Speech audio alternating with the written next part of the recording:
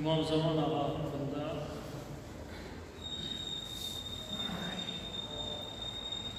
onun həyatına məxsus olan müəyyən bir məsələyə qısa açıqlama gətirəcəm. Bismillah, Quran-ı Kerimdən. Öncədən bir kiçik müqəddiməyə ehtiyacımız var. Deməli, Peyğəmbərimiz İmam Zaman ağanın ümmətə necə qovuşacağı haqda, yəni İmam Zaman ağanın ümmət arasında necə peyda olacağı haqda belə buyurur. Buyurur, İnnəmə məsələhu kəməsələ sa'i, la tə'tikum illə bəhtətən. Bəhtətən, yəni gözlənilmədən. Heç kim güman eləmirdi, gözləmirdi. Bir necə qiyamət günü insanlar gözləmədiyi və hesabını görmədiyi bir vaxtda zahir olacaq, İmam Zaman ağanın da zuhuru o cürlə olacaq. Baxmayaraq ki, qiyamət gününün əlamətlərini barmaqla sayırıq və görürük. Amma yenə də Peyğəmbərimiz buyurur ki, və Quran da buyurur ki, insanlar qiyamət günündən qafildirlər. Əlamətləri sayırıq, görürük və e, belə deyək də, birimiz digərimizə də tövsiyə eləyir. Qiyamət gününün əlamətlərindən biri budur, filandır, filandır. Amma yenə də qafil, yenə də xəbərsiz, yenə də mövzuya əhəmiyyət verməyən kimi Quran bizləri vəsf edir, bəzilərini çıxmaq şəkildir. Zamanə imamının da zuhur məsələsi bu tərzdəndir, bu qəbirdəndir. Baxmayaraq ki, əlamətlər çox olacaq. Süfyani, filani, filani. Bunların hamısını görə-görə və bəzisində iştirak eləyə-eləyə zuhur əlaməti olaraq yenə də ağanın zuhuru Peyğəmbərimiz buyurur ki, eynən qiyamət gününün e, zahir olması kimi olacaq. Hər halda Allahın qoyduğu qanun qaydalar bizim istəyimiz və e, hazır olub olmamağımızla işləmir. Yəni biz hazırıqsa o işləyəcək, biz hazır deyiliksə möhlət veriləcək ki, bunlar nə zaman hazır olarlarsa, həmən zamanda da qiyamət başlasın və yaxud həmən zamanda da İmam Zaman ağa zuhur eləsin.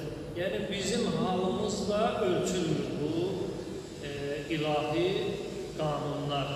Allah özü nə zaman məsləhət biləcək, həmən zamanda da qiyamət günü qopacaq, nə zaman ağanın zuhuruna izin verəcək, həmən zamanda da e,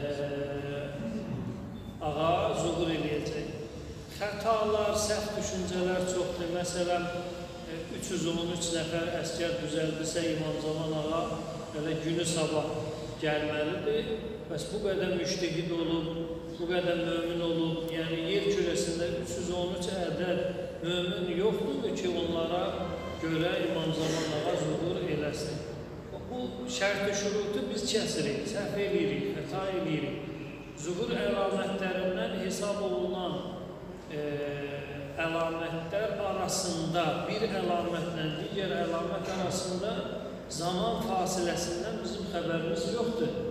Nə qədərdir?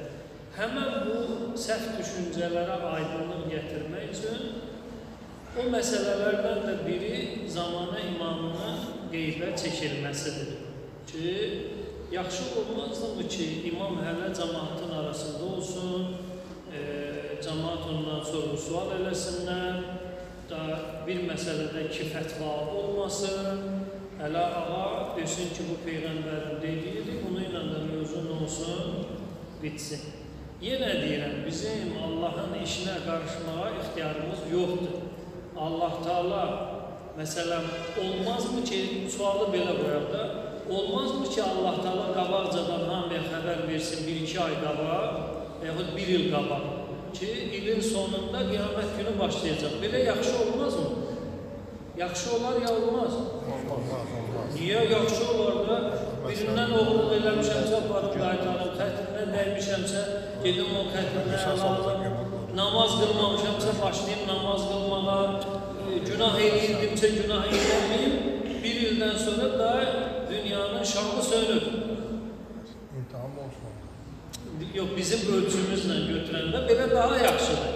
Ki, hamı getsin cənnətə, hamı bir-biri ilə barışsın, hamı bir-biri ilə xoş desin, can desin, can eşitsin, belə bizim öz fikrimizə uyğun daha yaxşı olardı. Amma Allah Taala bizim metrəmizlə, bizim arşınımızla heç bir şeyi ölçmür. Yəni bizə qayıtmır məsələ. Biz hazırıq ya hazır deyilik. Biz bu işin öhdəsindən gələ bilirik, bilmirik. Yəni bizə qalsa günü heç vaxt belə deyəndə gələsi deyildir. Yenə deyirəm, o yaxşı olara qalsa dini gərək vuraq bir-birinə ki, məsələn Allah Taala yaxşı olardı ki, bizdə nəfs yaratmazdı, əmmara bisunu. Şeytanı da yaratmazdı, hamımız gedərdik cənnətə, hamı şad xürrəm, e, ələ surülün mütəqabilin. Cənnətdə hamı bir-birinə üz-üzə oturub, rahat, e, əbədi olaraq Allahın rəhmətində olardı. Yaxşı olmazdımı? Bizim fikrimizlə yaxşı olardı, amma o yaxşı bizi biz təyin eləmirik. Bizim ixtiyarımız da yoxdur ki, yaxşı pisi neyniyək.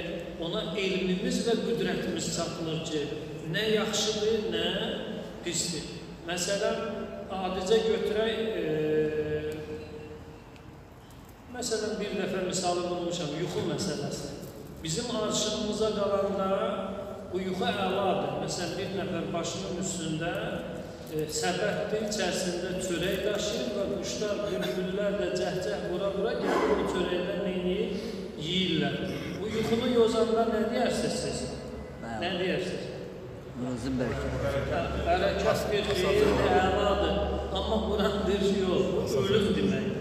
Bu təhlükə deməkdir. Bu xeyirsizlik deməkdir. Bu bəladır.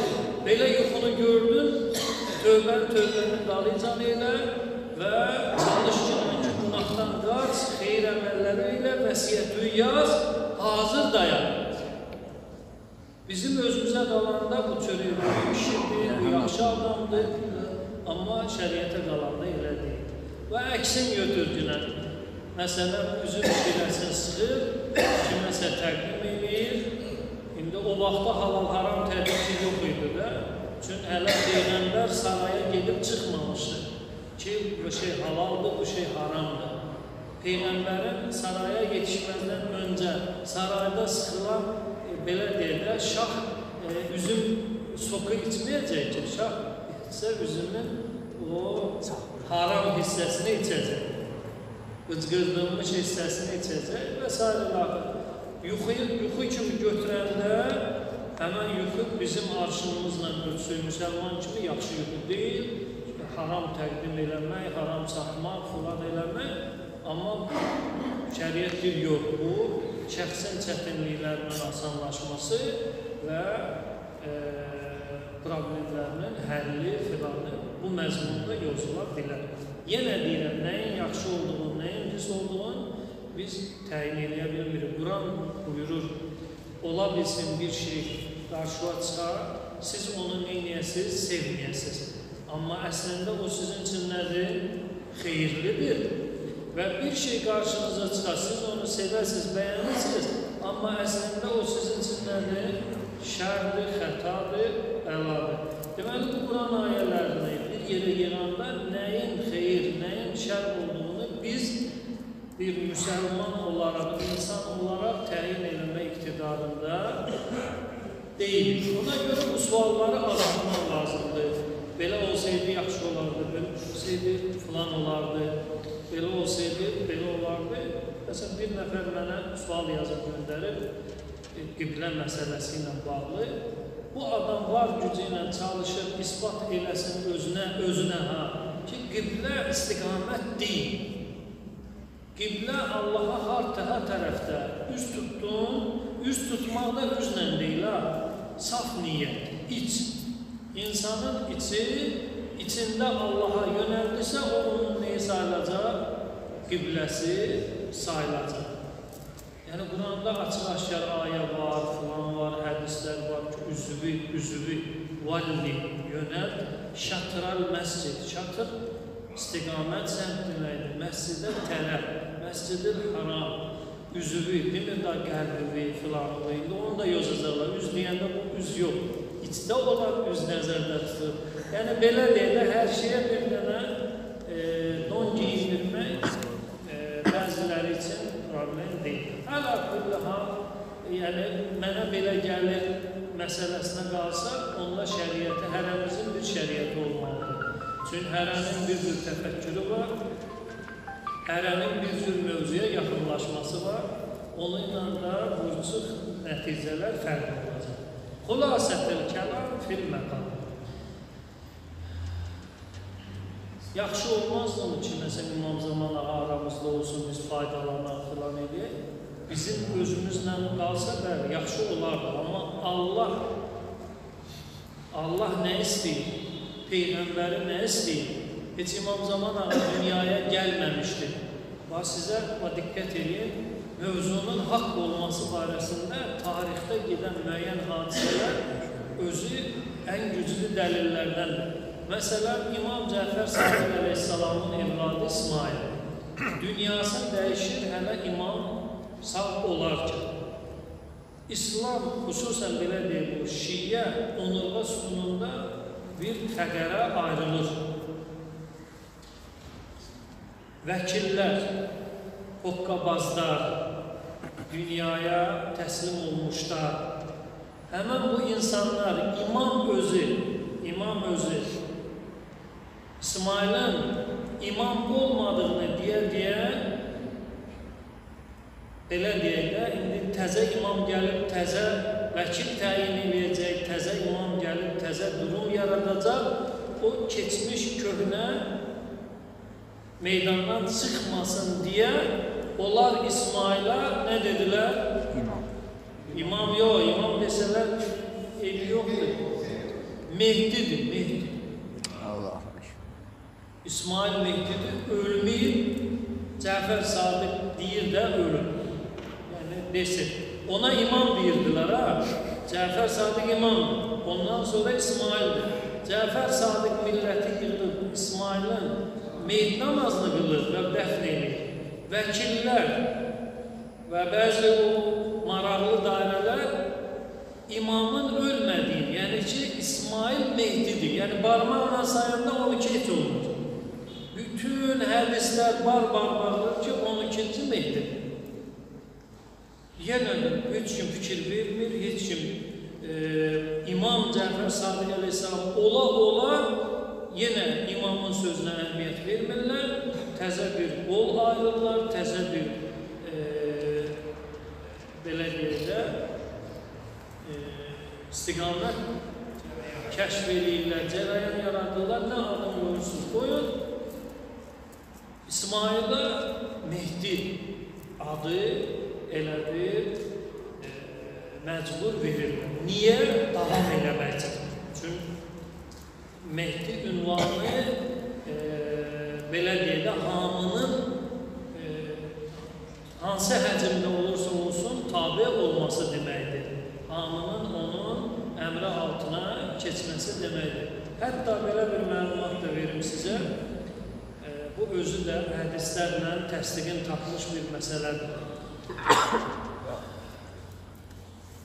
Deməli, Yusuf əleyhissalam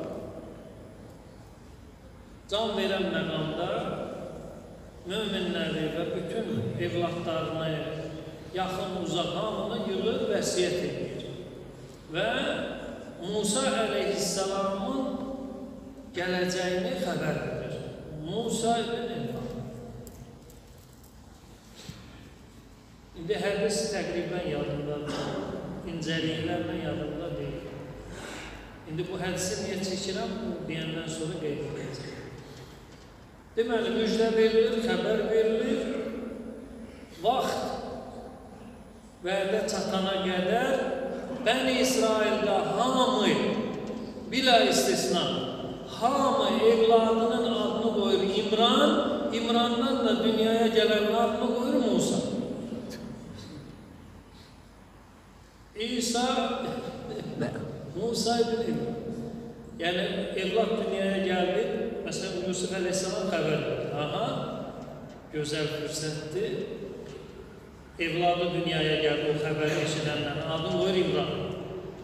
İmrandan da oğlan uşağı dünyaya gəldi, adını qoyurlar Musa. İndi hədis deyir ki, Musa əleyhissalam ta o fəaliyyətinə başlayana qədər Bəni İsraildə o qədər Musa ibn İmran peyda oldu ki, indi təsəvvür edin, o adı qoyanlar nə məqsədlə qoyurdu? Hakimiyyət, güc, qüdrət və e, sayılıb seçilmək. Və bu işi belə dedə ata, oğul, nəvə. Bu üç nəfər bu addımı ki atılar, geriyə addım atarlarmı ki biz deyilik? İndi görürüz, nə qədər yalancı Musa peyda oldu. Yəni Musa peyğəmbər peyda olana qədər nə qədər Musa yəni bu bugünün söhbətidir ha ki İslamda Məhdi var, yalancı Məhdilər filanlar yox. Bizdən qabağın söhbətidir. Müjdə verilən o həqiqi ünvan ortaya çıxana qədər nə qədər saxtası yalanı üzə çıxır. Musa ibn İmran e, öz Allah tərəfindən vəzifəsini icra edənə qədər nə qədər yalancı Musa ibn İmranlar, Musa və İmranlar ortaya çıxırdı ki, mən hələ Yusuf əleyhissalamın dediyi İmran mənəm, bu da mənim oğlum Yusuf əleyhissalamın dediyi Musadır ki, gəlmişik, buyurun, bizim sizə Allahdan tövsiyələrimiz var, filan var, filan. Xülasə, həmişə müjdə verilən şəxsin haqqında e, belə deyək də, saxtalar ortaya məqsədli şəkildə, qərəzli şəkildə çıxır. İmam deyir ki, İsmail dünyasını dəyişir, amma onun deməyinə baxmayaraq meyit namazını qıydırırlar, torpağa da bastırırlar, deyirlər o deyil, qeybə çəkilib mehdidir, gələcək. O qeyb məsələsi Mərhum. sui istifadə olunub tarix boyu. İndi vaxtımız azdır deyə qalan hissəni Quran-ı Kərimlə biz iki məsələni sübut eləməliyik. Deməli, qeybətül kubra Quranda sübut eləməliyik ki, uzun qeybət, bir də qeybətül sura, kiçik e, zaman fasiləsi əhatə edən qeybət. Bir, məsumun qeybətini sübut eləməliyik, bir də qeyri-məsumun. Dörd məsələmiz olacaq. İnşallah bu müqəddimə o mövzumuz üçün olsun. Allah'a ömrünü izzət cəlalını xatir, bizləri əqidəyətən uzaq salmasın. Allah'a Allah'ın günümüzde cenabına hatir günahımız bağışlanmamış bizi dünyadan aparmasın. Gözü razı kaldığı işlere bizleri müffet edesin. Müşkülleri, çetinlikleri Allah'tan zamanı imamına hatir Allah'tan bizi hövdü kuvvesiyle həll eləsin. Allah'ın günümüzde cenabına hatir xəstələrə şəfa versin.